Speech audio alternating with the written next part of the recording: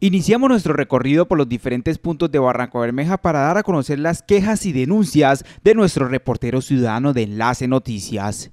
En esta oportunidad, un reportero ciudadano captó una foto en la calle 52 con carrera 19 del barrio Torcoroma, denunciando la aglomeración de personas a las afueras de un centro de salud de la ciudad. El ciudadano hace el llamado a las autoridades distritales para que esta EPS tome conciencia y acate las normas establecidas de bioseguridad. En esta ocasión, la comunidad del barrio Barranca, cerca del sector de Pozo 7, realiza una denuncia por invasores en los terrenos aledaños a sus casas. Los ciudadanos manifiestan que los invasores no tienen ningún permiso para la construcción y piden a las autoridades competentes para que hagan control sobre estos terrenos.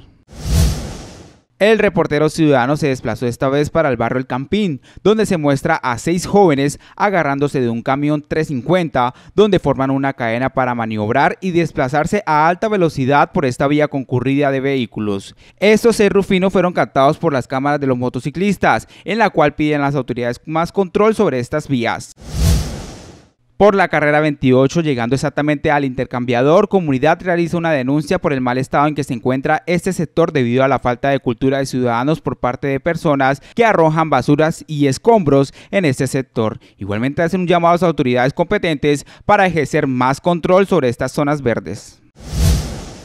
Y terminamos con la queja de un reportero ciudadano que denuncia una problemática que se está presentando en la carrera 15 del barrio Arenal con respecto a un lote que se encuentra abandonado por más de hace 10 años y se ha vuelto un basurero, lo cual resulta siendo un foco de enfermedades para los habitantes que se encuentran cerca de él. También el reportero muestra otra casa desocupada con escombro en la cual obstruye la vía pública manifestando que los dueños no hacen nada al respecto. Hasta aquí el reportero ciudadano de hoy de Enlace Noticias. Recuerde hacer sus quejas y denuncias a través del número de WhatsApp 321-481-3015.